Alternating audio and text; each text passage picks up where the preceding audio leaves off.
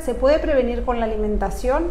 Esta es una pregunta súper frecuente. Nosotros ah, visitamos pacientes que eh, tienen cáncer de hígado, que le acaban de diagnosticar un cáncer de hígado y podría decir que casi en el 100% de los casos nos preguntan si hay algún alimento que podamos utilizar. La respuesta es que no.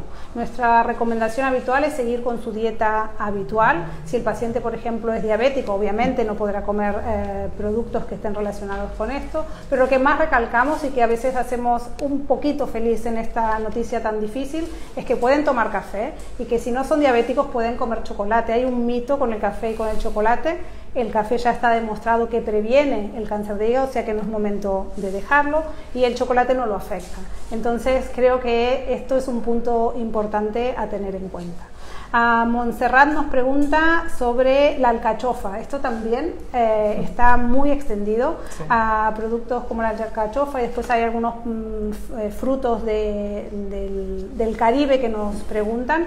La verdad que no hay ningún dato que nos refuerce que ningún alimento ni ningún comprimido puede prevenir el, cáncer de hígado. Pero sí me gustaría puntualizar que todos los productos que no sean eh, productos un fruto directamente están dentro tienen eh, comprimidos tóxicos y esto sí puede ser tóxico para el hígado. Si uno tiene un hígado enfermo, no funciona igual que un hígado sano y por lo tanto desde aquí no recomendamos ninguna medida preventiva con alternativas que no estén probadas en pacientes que tengan una enfermedad hepática, porque puedo tener una mm. enfermedad hepática y nunca desarrollar el cáncer, o puedo tener un hígado que creo que es sano, pero por algún motivo que a día de hoy la medicina todavía no puede conocer y desarrollar un tumor. Por lo tanto, en este sentido no, no hay nada.